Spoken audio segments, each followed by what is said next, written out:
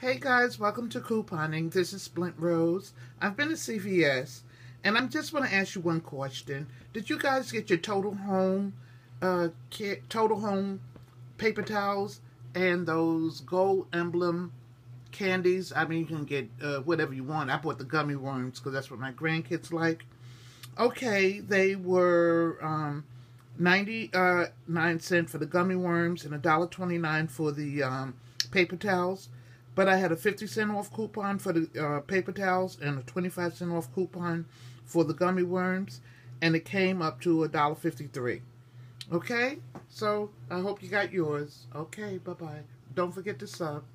Remember, have fun shopping. Okay, bye-bye. That was at CVS.